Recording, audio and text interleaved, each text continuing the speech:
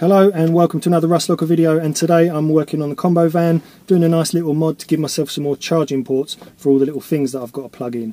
Now I'm sure a lot of you have had the same problem as me and that is how do you juggle your sat nav charger with your phone charger, with your vape charger, with anything else that you might need to plug in when you've only got one 12 volt cigarette lighter adapter in your car. So one option is to get one of these things which is a cigarette lighter charger that goes into USB ports um, but obviously the problem is there. If you've got one of the old traditional type chargers for a sat nav or whatever you then have to still juggle between your USBs and your sat nav so so what I've done is I've got this off of Amazon which is a charger adapter that contains both a traditional cigarette lighter type power port with two USB ports. So I'm going to be fitting this in the place of the standard 12 volt cigarette lighter socket and hopefully you're going to join me for it.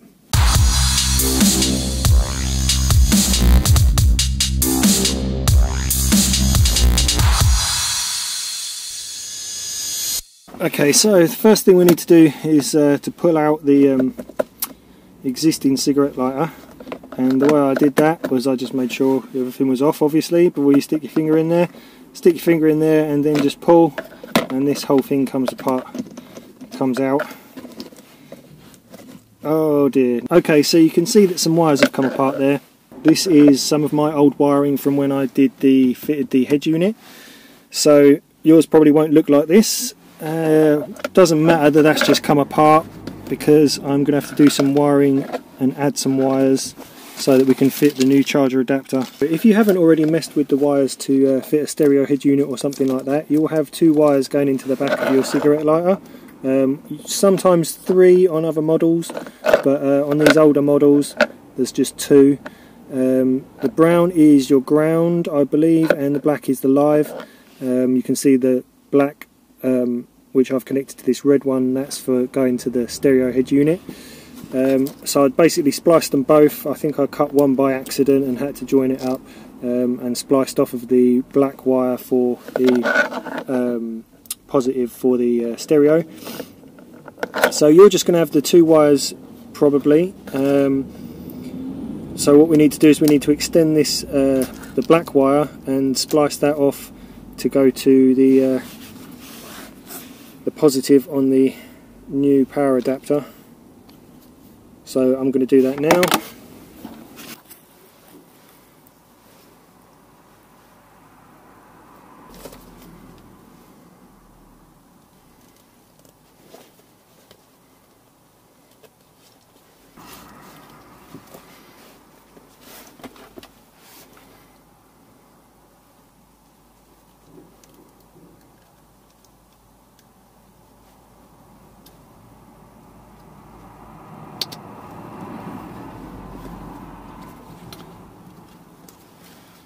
Okay, so what have I got? Yeah, reds uh, positives and the blacks are ground.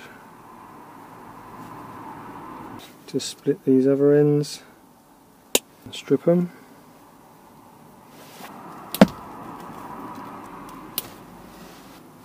Okay, so now if I'm not mistaken, I need to join these reds together and fit them to a junction box with the black wire and the two black wires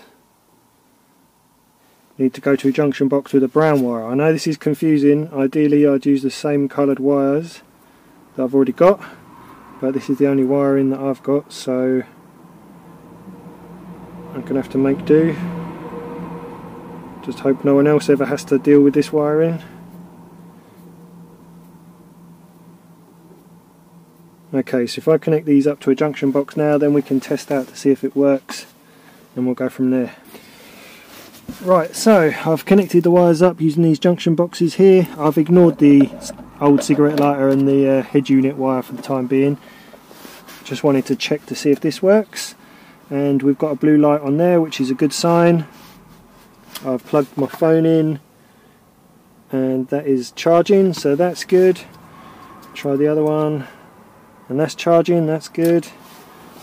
Plug the old sat nav in. And that's come on so we're good to go right. So now that we know everything works I'm going to turn the ignition back off. Lights gone out that's all good right. So now all I need to do is um, put back my power cable for the head unit. We can get rid of this old thing so the head unit power has obviously got to go to um, the black wire junction. And uh, and then we'll fit this into the gap somehow. Where's the screwdriver? There it is. Right. So black wire there. In that junction. Undo this again. Wire that up to that. I've got to try and ram all this in there.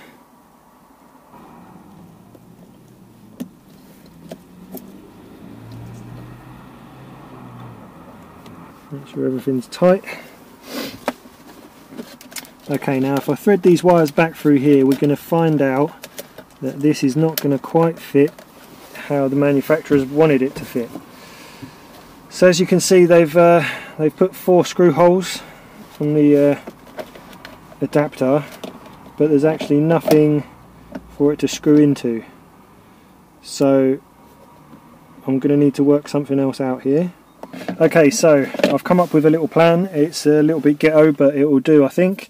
And that is, I've got some little offcuts of wood like this out of the shed, and I'm going to uh, epoxy glue this sort of in and under that lip there, which is going to give me a sort of an anchor point to screw the adapter in to the wood blocks. I've glued this one here. I'm just waiting for that to dry.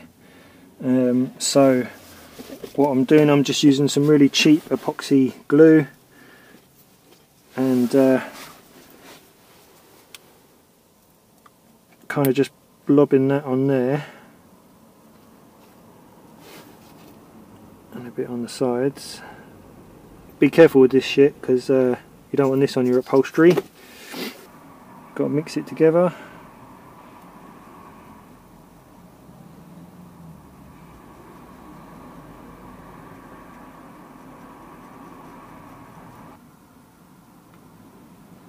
Okay, rid of that.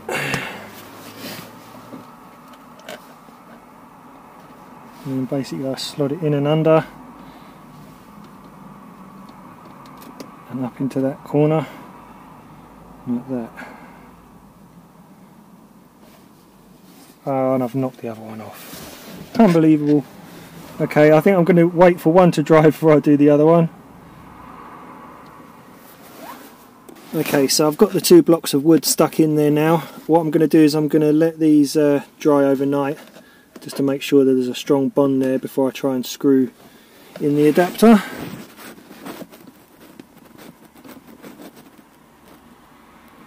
Got to be honest, I'm not sure if this is going to work, but uh, it's all I can think of doing at the moment. If you've got any other ideas for doing this, feel free to leave them down in the comments. I'm going to call it a day there, it's getting too dark to film, so I shall come back in the morning and we'll see how that's glued and then hopefully we can just screw this adapter in.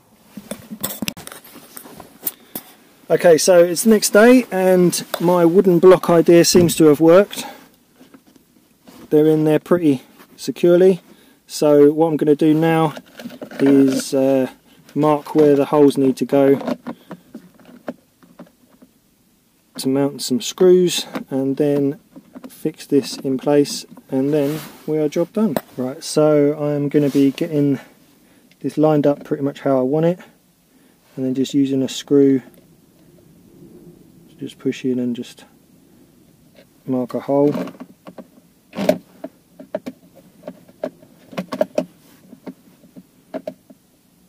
It's a little bit annoying that this is just a slightly bit too big for the gap but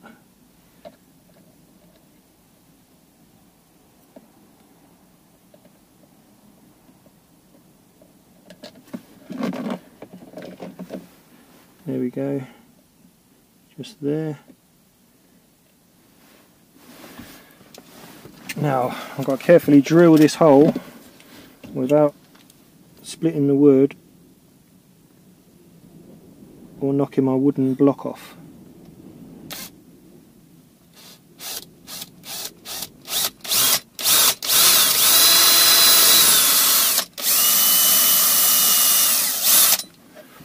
Okay, I'm just going to do one and then screw that in.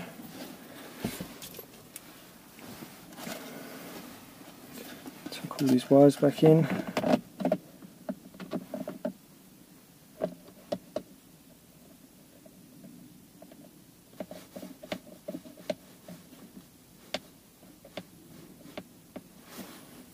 And now that that's in, I shall drill the holes for the others.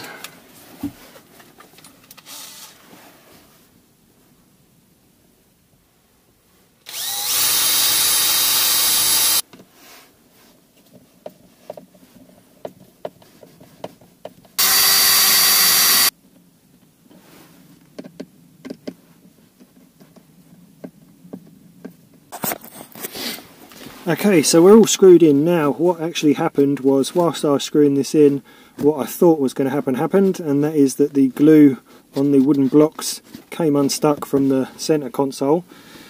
But because I'd made the blocks um, the right sort of size to go in and under the lip, by screwing them in, I've kind of sort of uh, locked it in anyway.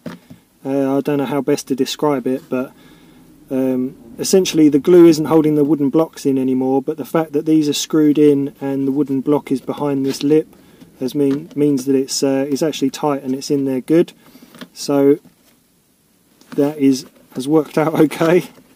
Uh, so yeah there we go. Now I've got some I've got a charging port for my sat nav and whack that in there. I've got some USB ports for my phone. Can whack them in there